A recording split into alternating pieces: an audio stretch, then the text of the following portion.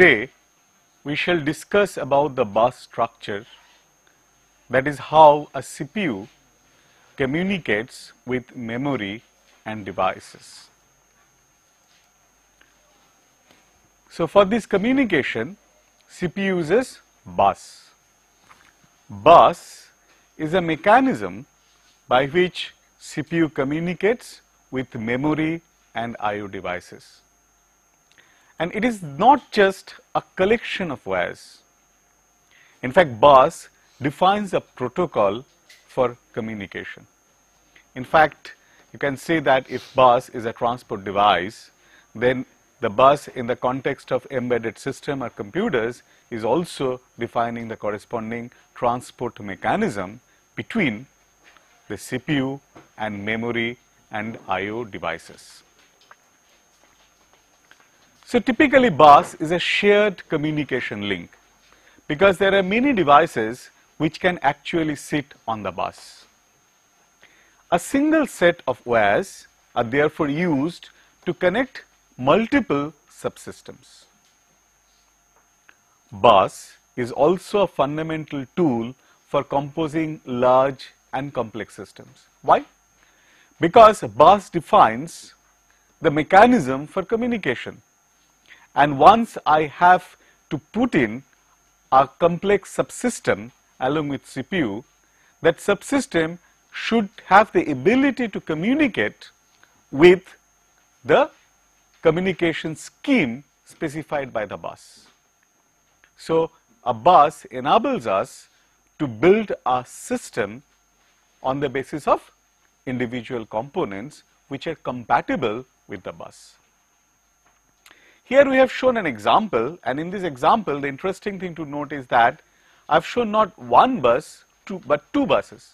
One bus connecting memory and the processor, another bus input and output devices to the processor.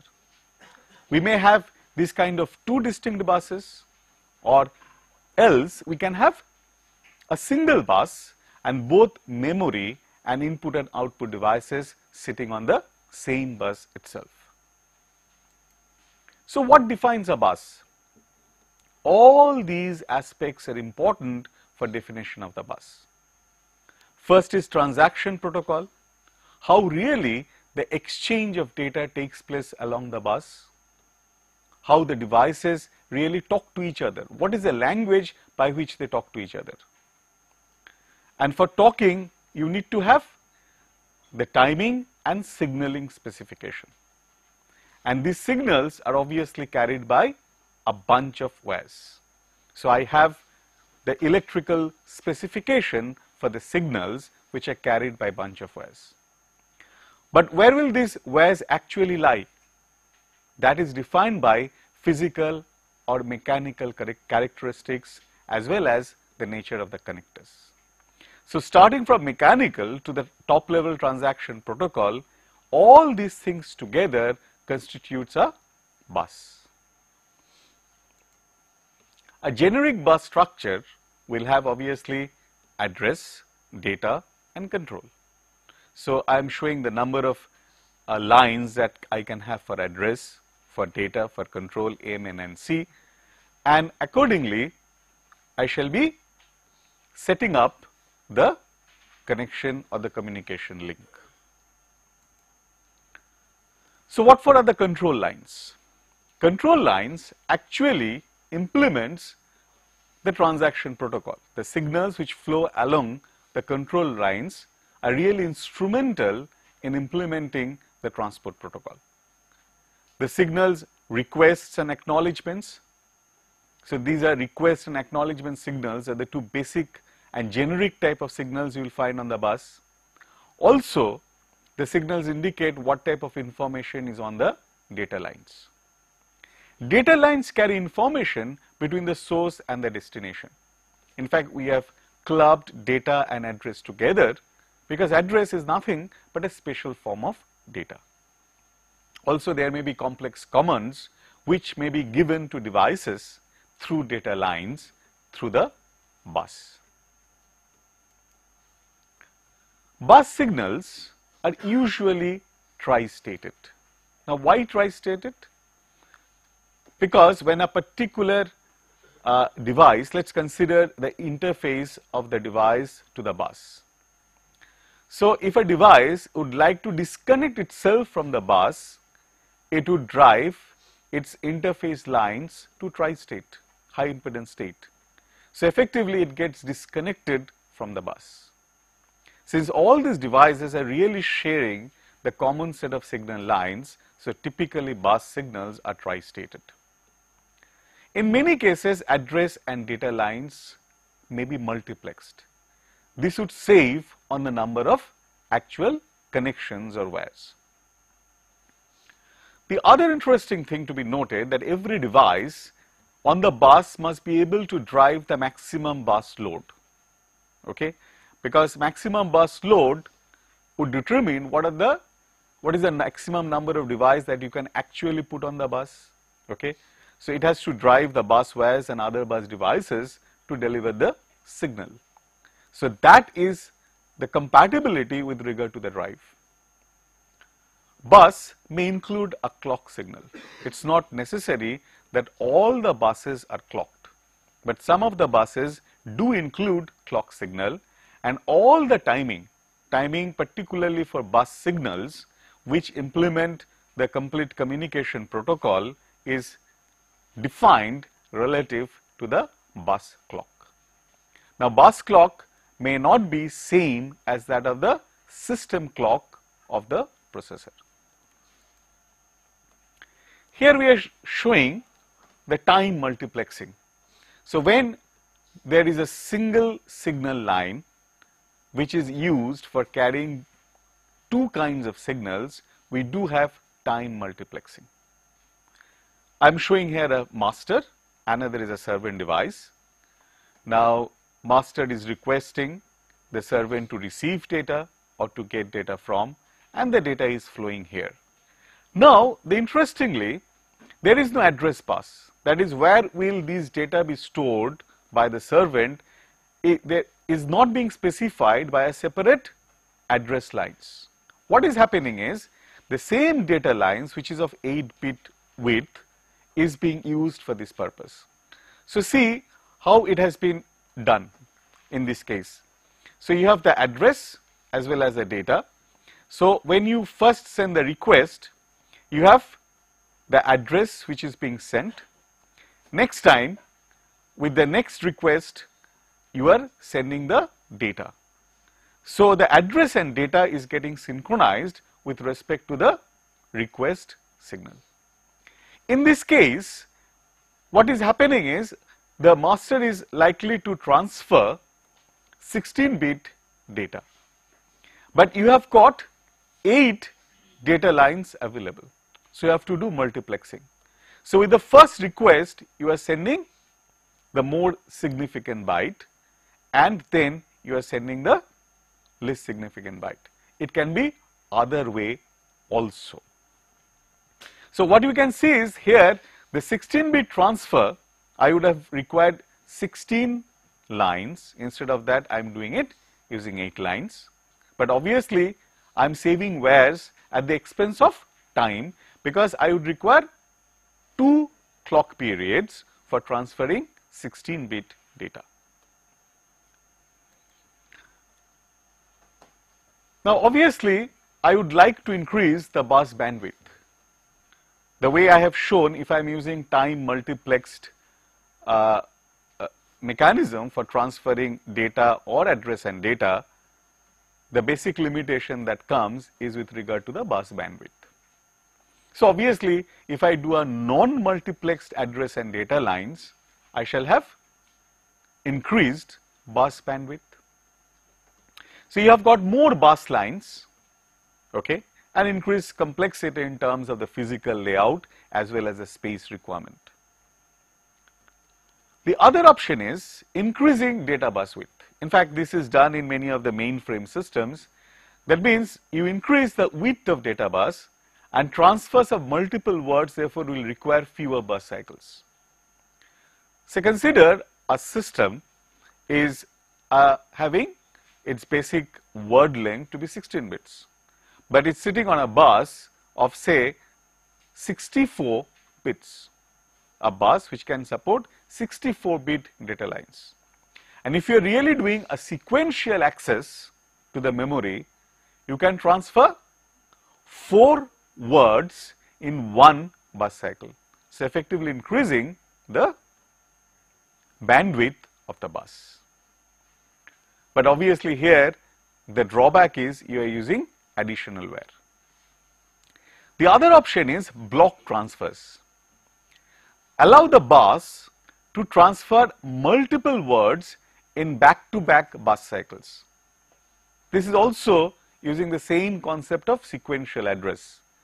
That is, I shall just provide a single address and then I shall do a number of these data transfer cycles.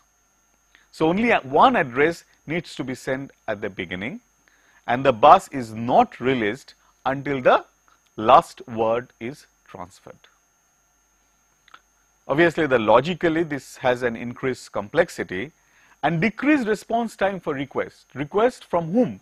From the other devices which are willing to use the bus. But for a transfer, you can have a large volume of data transfer and a fast data transfer.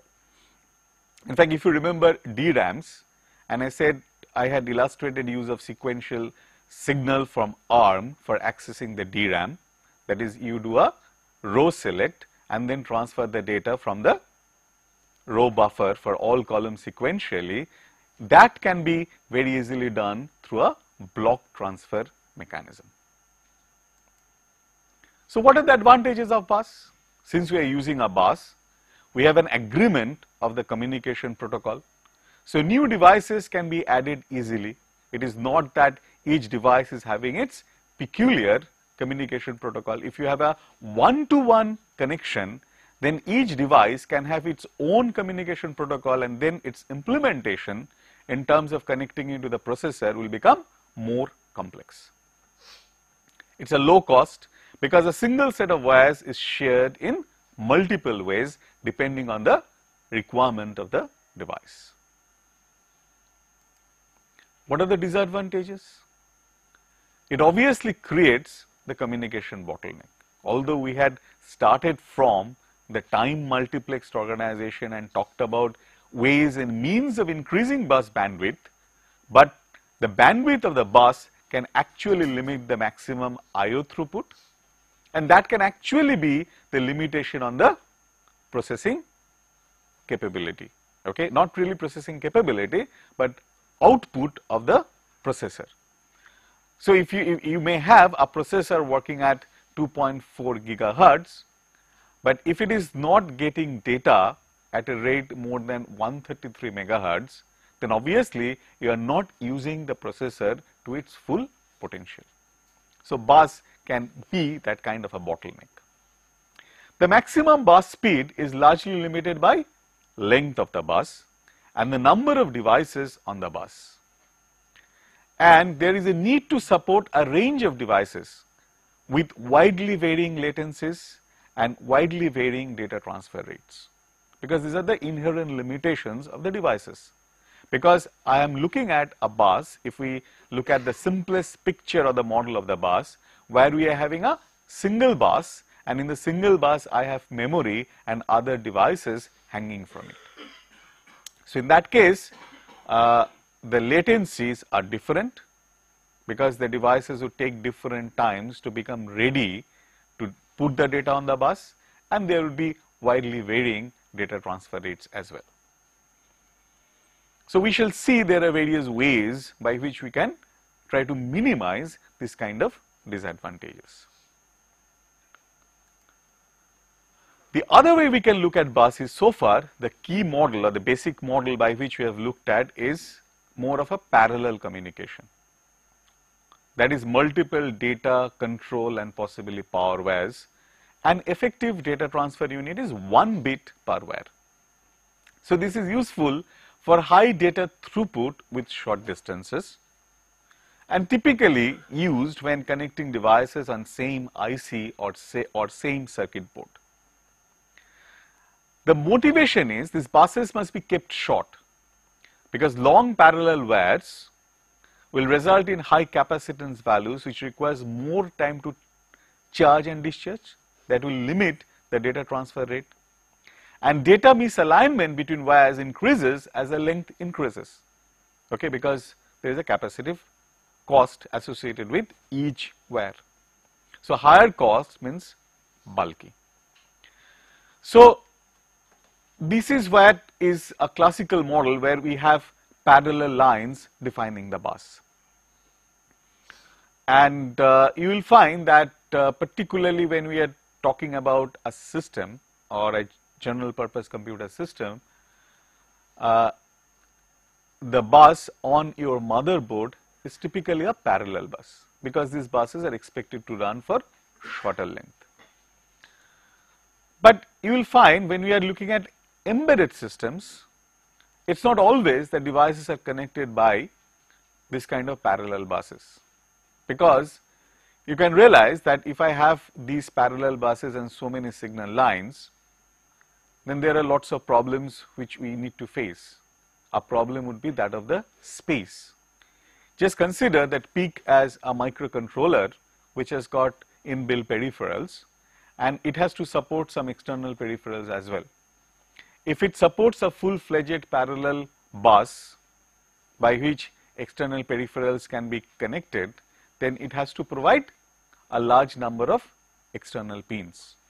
So, that is an area requirement. Even for the device itself, putting so many connection lines can actually ask for additional physical area even.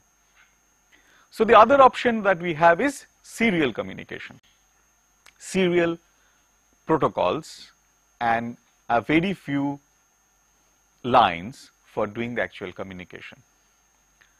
You may have a single data wire, possibly also a single control and power wires. Words are transmitted one bit at a time.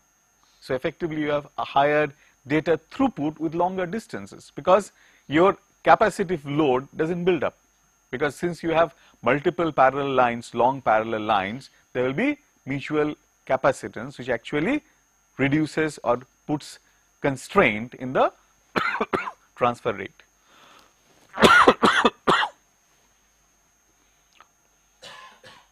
so, my bus is cheaper, it is less bulky. You have got more complex interfacing logic and communication protocol. Sender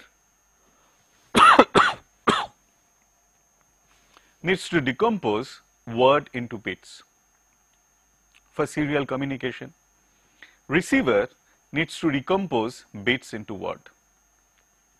And control signals are often sent on the same wire as data, so that increases protocol complexity. Because you do not have separate data or control lines, you might like to use the same line to send the control information followed by data. And since sender needs to, why sender needs to decompose word into bits? Because it has to send the words in a bit by bit fashion. The other way of looking at bus is whether a bus is a synchronous bus or an asynchronous bus. A synchronous bus includes a clock in control lines. So, you have a fixed protocol for communication that is relative to the clock. That means the timing for your uh, signals, control signals are defined always relative to that of the clock. Since it is defined with respect to the clock, you can understand that your logic can be simple and it can run very fast. Disadvantage is every device on the bus must run at the same clock rate, means it should have the ability to deliver data at the same clock rate. And to avoid clock skew, they cannot be long if they are fast, because the skew will build up. If the skew build up, then there will be timing errors for data transfer. So, you will find that both processor memory buses which are expected to be fast buses, in such cases you have synchronous bus.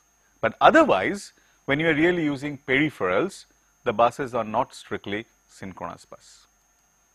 So, you got to have what we call asynchronous bus. Asynchronous bus is not strictly clocked. Since it is not clocked, it can accommodate wide range of devices. They can work with different latencies. They need not respond with respect to the same clock.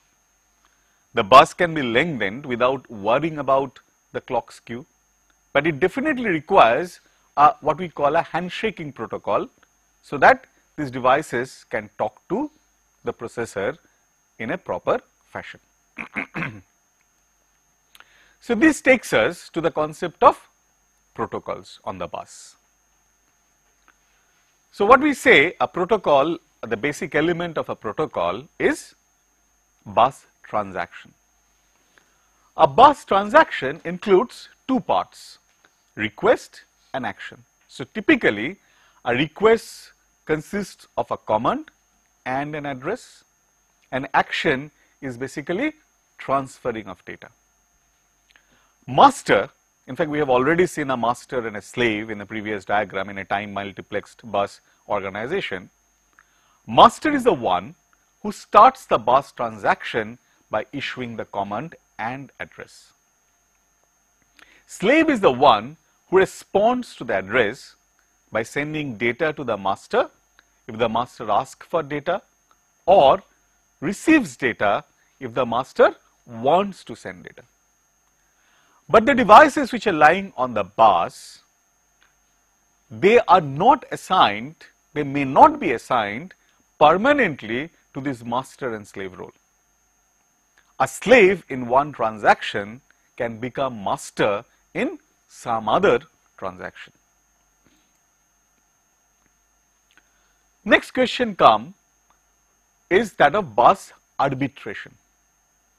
How is the bus reserved by a device that wishes to use it? If there is a single master, that is the simplest system when we say processor is the only bus master, then really arbitration problem is not there. But uh, if the slave and the master can have interchangeable role, then we really need an arbitration scheme. But let us start looking at master slave arrangement. So, in case of a master slave arrangement, only the bus master can control access to the bus.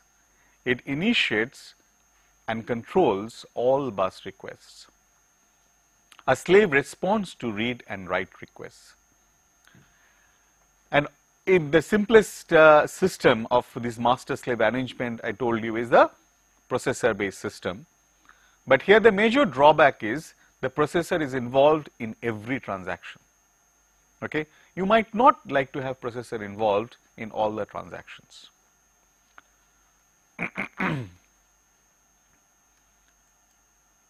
so, let us look at the basic transactions protocol. This master and this is a servant. This is called a strobe protocol. In fact, what is interesting to note is that this is what we were looking at when we were looking at the multiplexed bus. So, there is a request line and your data transfer is synchronized with respect to your request. Okay. So, what we say the basic protocol steps are master asserts request to receive data, servant puts data on bus within a time t access, master receives data and then de-asserts request, servant becomes ready for next request. So, this one will work once these devices can guarantee the response within a bounded t access. The other one is what is called a handshaking protocol where you have a request acknowledge as a kind of a paired signal. So, master asserts request to receive data.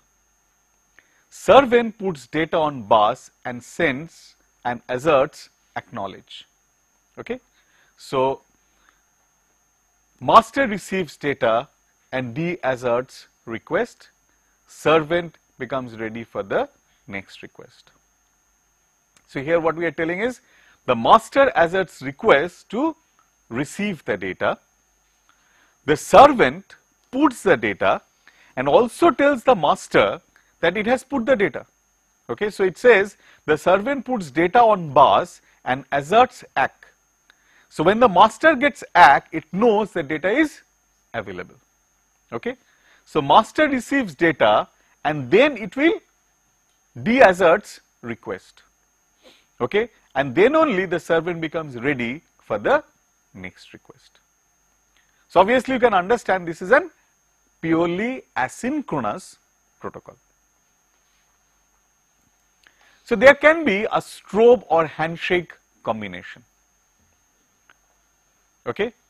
So this is a combination what we say the first uh, response case where we have introduced an additional signal line called wait. In fact, we have talked about wait when we discussed the ARM interfacing with the memory that ARM need to wait for ROM access because it is slow. So that is exactly what is being handled by this wait signal. The same thing is being now handled and we are talking this not in the context of just a particular chip or a particular processor, we are talking about it in the context of a common signal line which is connecting processor and different devices as well. so, for a first response case, there is no need for the wait line to become active because this is a typical strobed access because I am guaranteed to provide the data within a t access time. If I am not guaranteed to provide the data, what is important is wait. Now, wait signal comes from the servant. Wait asks the processor to wait. Okay. So, what we say that the master asserts request to receive data Servant can't put data within T access, so it asserts wait, acknowledge. It's almost like an acknowledge signal. Servant puts data on bus and de-asserts wait. Master receives data and de-asserts request. So the servant becomes ready for next request. So this is a kind of a, a strobe handshake combination. So the question is obviously when to use handshake? When response time obviously cannot be guaranteed in advance. There would be data dependent delay and there will be component variations. And in fact, this is what we had already seen that SRAM can put the data within the T access corresponding to a single cycle requirement for ARM, but this cannot is not true for ROM. So, there has to be wait cycles inserted. In fact, we shall look at this, this whole protocol uh, in the context of a bus, ISA bus protocol. In fact, ISA is actually a bus standard which came in the context of PC. It's an industry standard architecture. Now, one point you have to understand is all these bus protocols and all these things have to be standardized and standardized by via an agreement in the industry because there will be individual developers of the device and memory as well as the processor. If they can't agree on a same bus protocol or the same bus definition, their devices will not be usable across multiple platforms. So this is just an example because our bus specification is much more complex. This is just a simple example of a memory access. So, since it was developed originally keeping in mind 8086 kind of processor, so it has got a uh, 820 bit address. It uses what we call compromised strobe handshake control that is wait state based control. It has 4 cycles by default unless channel ready is de-asserted resulting in additional wait cycles. It can there will be up to 6 wait cycles can be inserted. So effectively what we are seeing here is a memory read bus cycle. So this is the basic clock. Okay. Now this read, it's not a single clock read, it's a four cycles by default is allocated for each operation. Okay. And uh, since this is a read bus cycle, the address is put in. It may be it actually has got a multiplexed address bus. So that's why there is an ALE signal address latch enable. Because if you are using a multiplexed bus, what happens?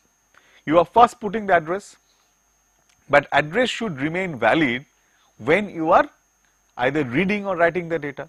So this address has to be latched at the input of the memory device. Okay. So you have a control signal address latch enable.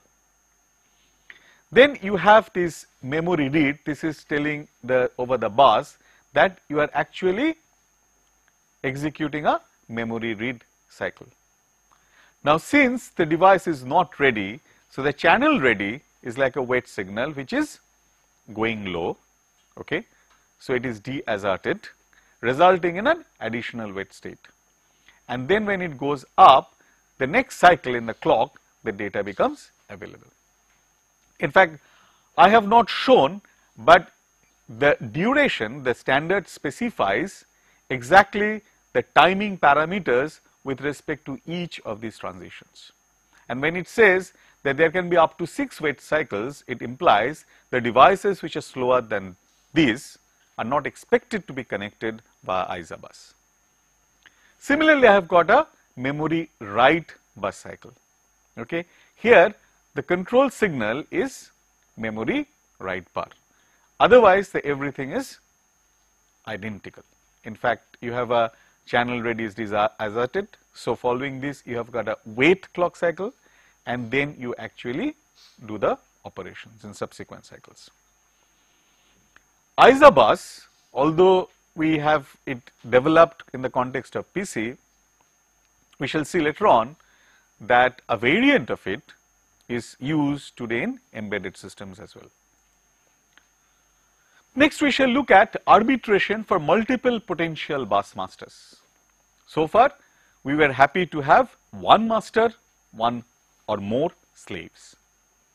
Now there can be multiple bus masters. So bus arbitration schemes usually try to balance two factors, what we call bus priority, because the devices would be now associated with priority. So the highest priority device should be serviced first and there should be a fairness. Even the lowest priority device should never be completely locked out from the bus. Bus arbitration schemes can be divided into four broad classes. Daisy chain arbitration, centralized or parallel arbitration, distributed arbitration by self-selection, each device wanting the bus places a code indicating its identity on the bus, and distributed arbitration by collision detection.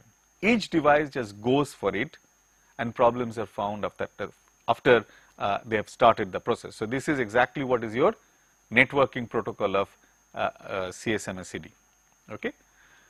We shall primarily look at these two in today's discussion. First is daisy chain. Daisy chain is there is a bus arbiter. This is not necessarily the processor, but it is a separate processing element which is there along with the bus. These are the devices and all these devices are can be potentially bus master.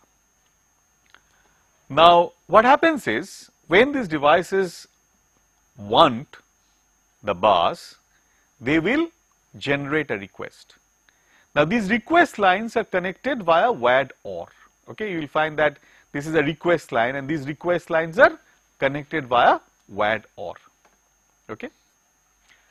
And bus arbiter depending on its uh, availability of the bus cycles, it will generate the grant signal. Now this grant signal is not connected to all of them in parallel, but it ripples through. Just like a ripple counter, it ripples through. So the grant signal goes to first the device which is nearest to the bus arbiter. Now if it has generated the request, what it will do? It will not allow the grant signal to ripple through. Okay? So it will now make use of the bus once it is done with, it will generate the release signal to tell bus arbiter that my job is over. So obviously the priority is defined according to the order in which these devices are put on the bus. Okay. Now, this is also used for servicing multiple device interrupts when all of them are connected on the same interrupt line and connected to the processor. Under those conditions also daisy chaining is used. The advantage is this, this arbitration scheme is very simple, straightforward. It is based on the physical uh, location of the device with respect to the arbiter. But it cannot assure fairness. A low priority device may be locked out indefinitely. And the use of daisy chain grant signal also limits the bus speed because this grant signal has to ripple through. So, it is not available in parallel to all of them. So, each of these device will introduce a delay and that will be the limiting factor on the bus speed. On the other side, I can have a centralized parallel arbitration. The basic difference here is each device has got uh, its own control lines, okay, the when it requests and it gets its grant. So, obviously, when a grant is generated, this is generated in a device specific fashion. And uh, it is used, obviously, you can see this can be a very high speed bus. Obviously, I need to have a complex bus arbitration logic, but it can be very high speed and used in essentially all processor memory buses and high speed IO buses. Okay. And uh, the drawback of this would be a number of signal lines and I would require a complex logic. Now, how to deal with priority? This is uh, a basic issue because we are talking about priority. So, there are two kinds of priority. I can have a fixed priority so that each peripheral has an unique rank. The highest rank chosen first when there are simultaneous requests. This is particularly true when we are looking at this kind of uh, parallel arbitration scheme. It is preferred when there is a clear difference in rank between peripherals. The other option is rotating priority. Priority is changed based on history of servicing that currently which is being serviced joins at the end of the queue and that is the basic principle of round robin priority. This has got better distribution of servicing especially among peripherals with similar priority demands. Okay. So, ties are not getting resolved arbitrarily, tie are getting resolved in a rotating fashion. So, the basic structure wise we will have something like this. We are just showing an example of priority arbitration scheme for dealing with interrupts. Okay.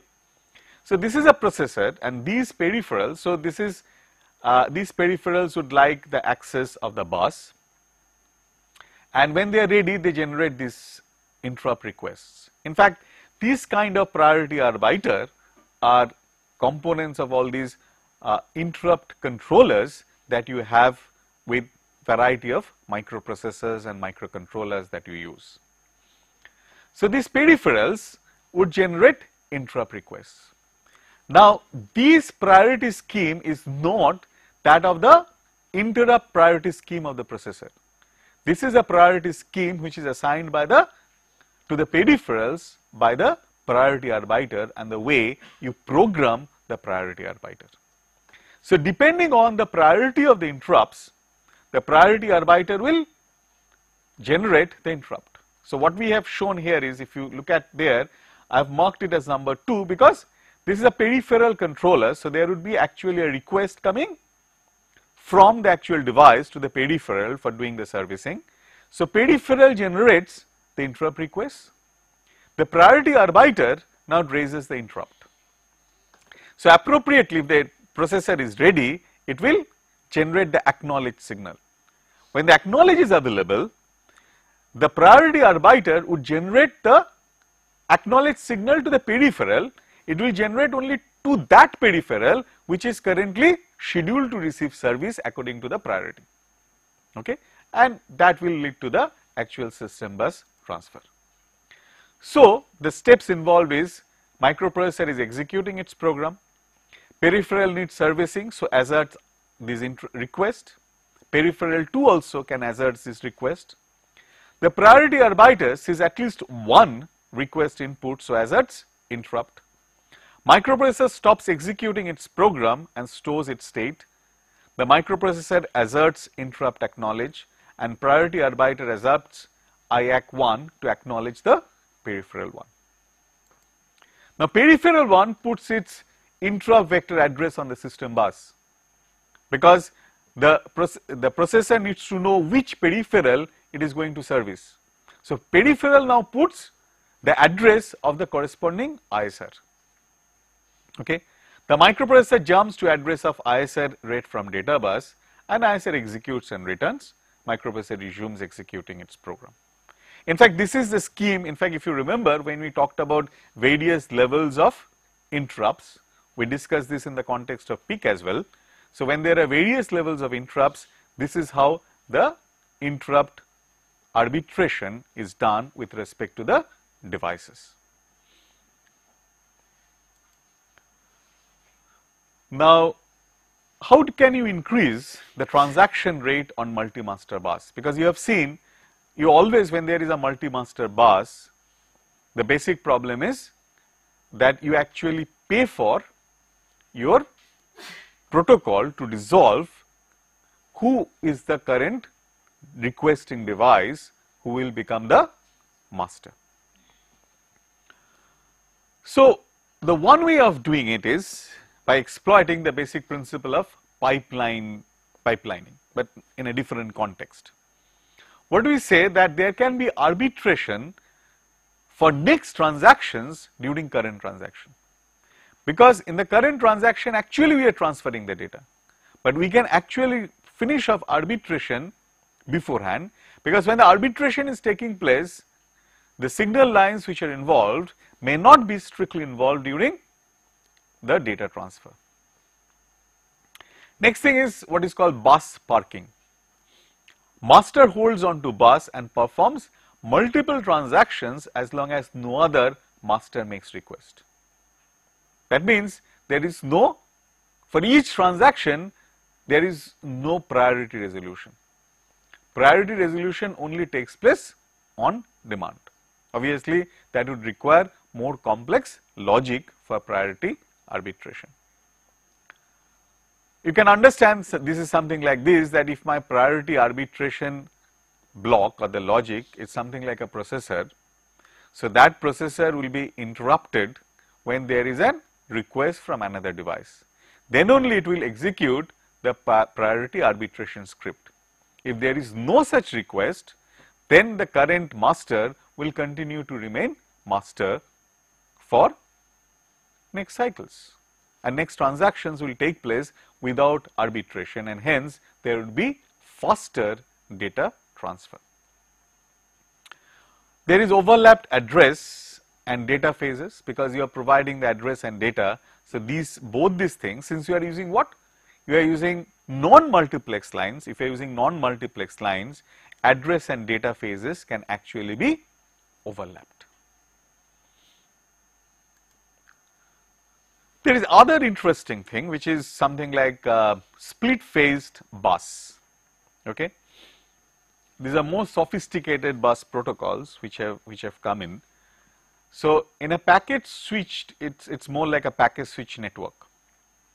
And when we talk about an interconnection framework between number of devices, this kind of a packet switching can take place.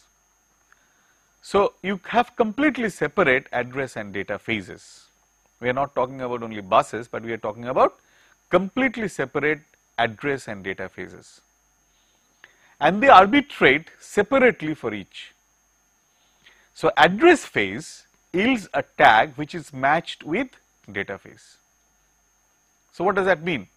It is something like this, I send first an address, a very simplistic picture would be, I would first send an address, on the basis of the address a device gets selected, so, device pro provides a tag. When the data is being sent, the data contains a tag. Okay. So, tag is matched and data is received. So, you can have this uh, data transfer with regard to each of these requirements. Okay. Fine. And uh, see all of these above in most modern memory buses because they are actually the bottleneck of speed really comes in. Now, in this context, why you should understand this basic packet switching is why it is interesting and why it you should note in this context is so far whatever we have discussed in terms of bulk transaction protocol is very very similar to a kind of a circuit switching scenario because your lines are getting dedicated to a particular device for a set of transactions. That set may include a single transaction as well. But when we are doing a packet switching, it is not like that. Okay? So, your number of data packets are actually flowing on the bus, fine.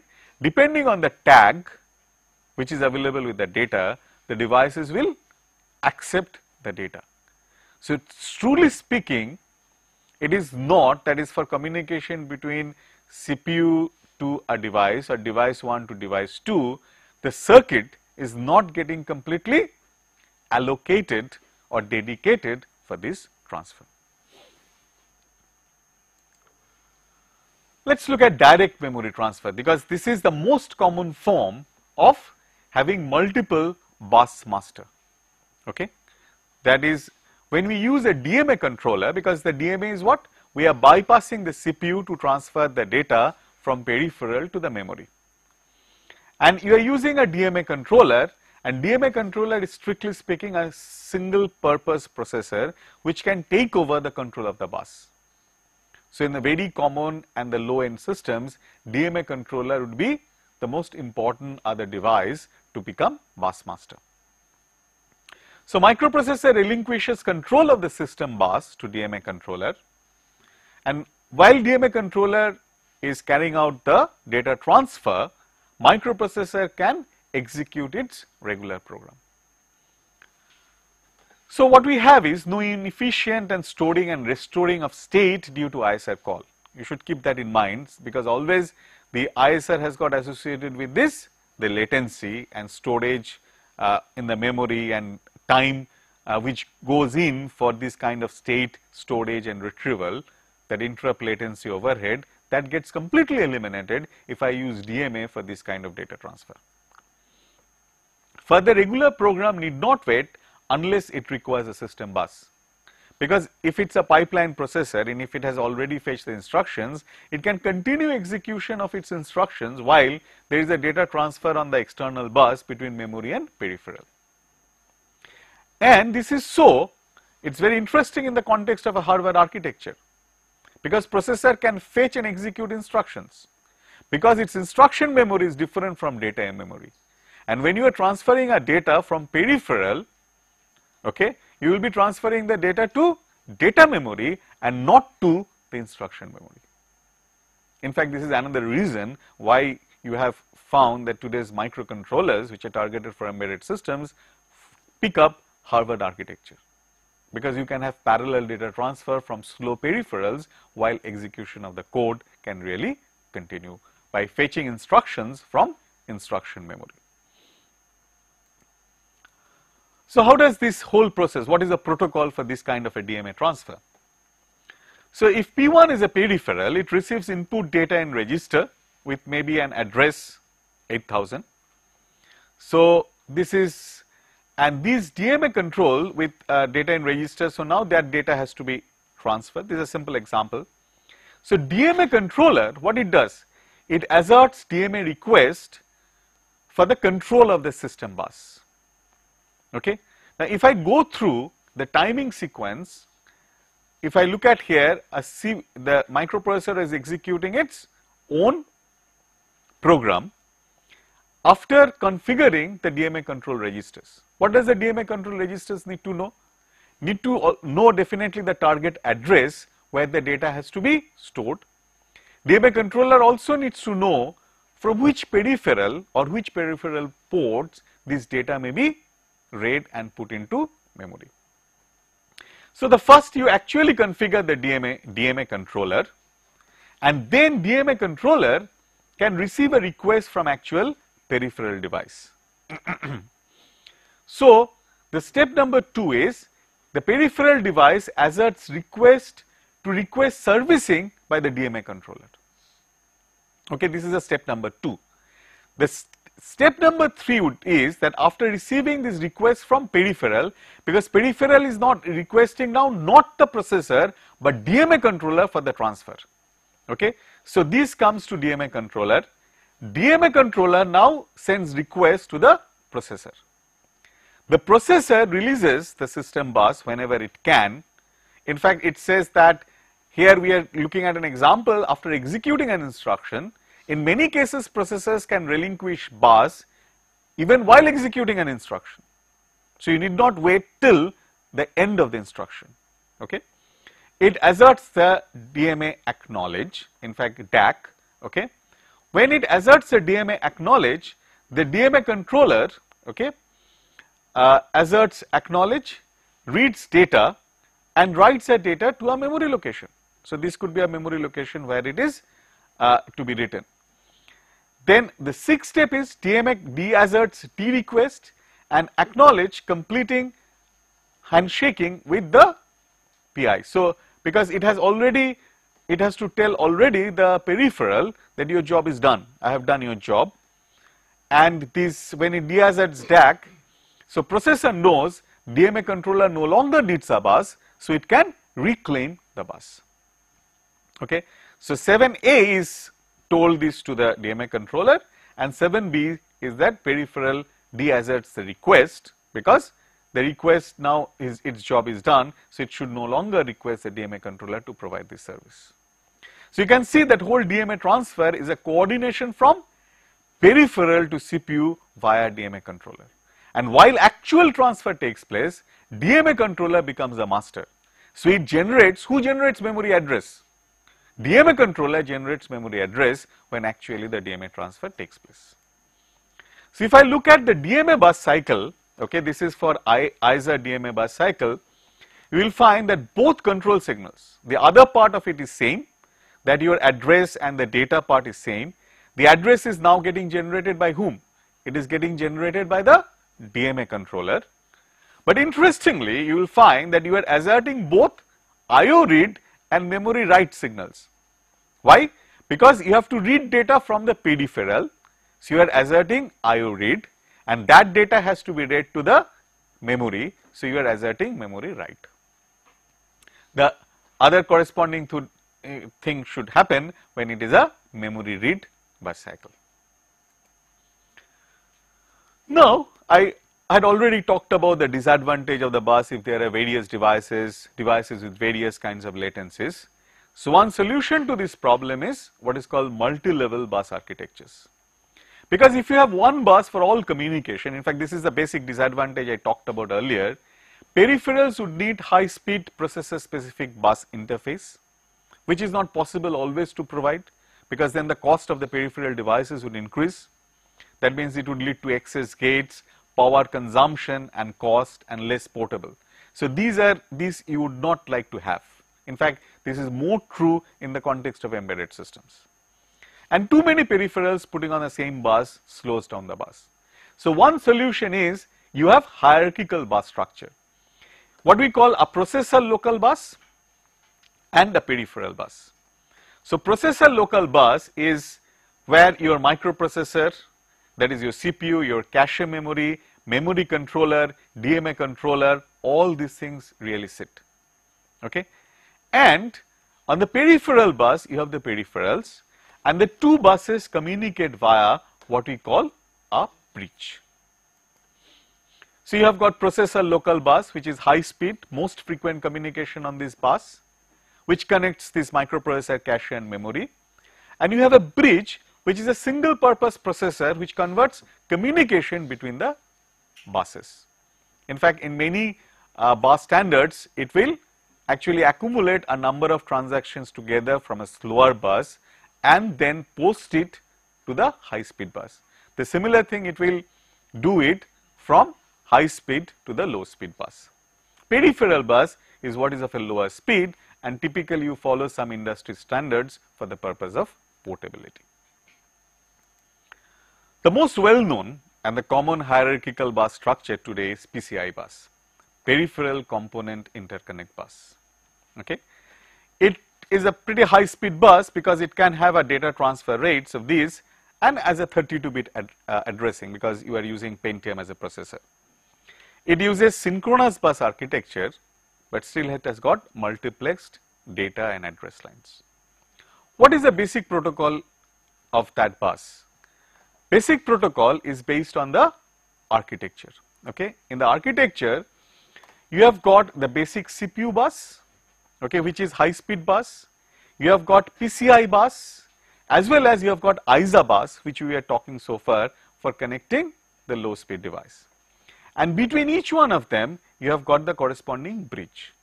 This is the host bridge between CPU bus, which, which is of the high speed, and that of the PCI bus, the basic bus, and that of the ISA bridge for bridging between PCI and ISA, uh, ISA bus. Obviously, L2 cache is sit on the CPU bus, but for trying to write onto the DRAM, it will go via the host bridge because DRAM is a slower device. So, your L2 and L1 cache are on the bus, CPU bus, but your ROM, your DRAM are connected via PCI host bridge because they are slower device. So, what we say the all signals in this PCI bus are sampled on rising edge and follows a centralized parallel arbitration. And all transfers are nothing but bursts. An address phase starts by asserting frame, frame is a basic signal and next cycle initiate, initiated asserts command and address. That means it's something like a complete cycle transfer. So, frame, the address phase starts by the frame and then you have the command uh, and, as, and the address for the next frame. And the transfer is through bursts and you follow a centralized parallel arbitration scheme that we had already discussed.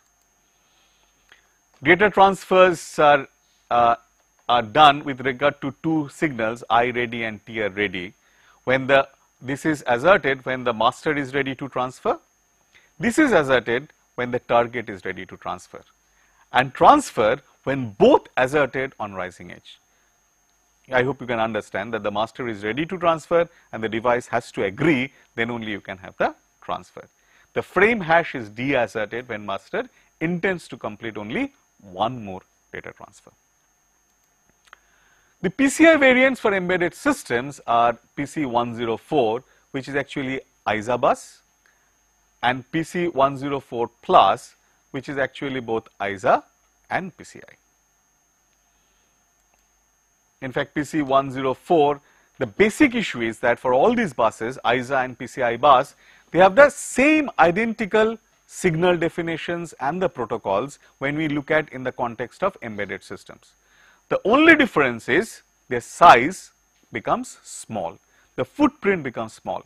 I told you it is critical to note that size, the mechanical parameters are, becomes important for the bus. This is an example where the mechanical parameters have been taken care of for the purpose of embedded applications.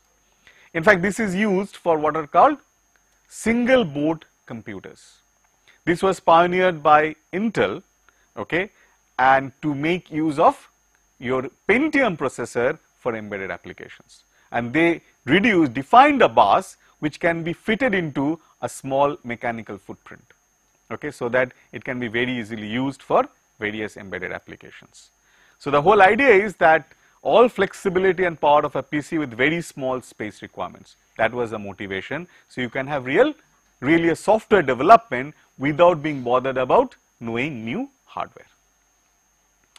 So this is what we have learned today, the basically the bus, how it connects CPU and IO devices. There may be more than one bus master and we need arbitration in that case. And we have looked at single board computers where we have got a PC bus moved into an embedded system application. The next level is system on chip where you have got multiple processor and other things putting into one single silicon. Then how the bus would look like in that context. The other thing which we have not looked at so far is the serial buses for connecting peripherals to these embedded microcontrollers. This we shall look at next few classes.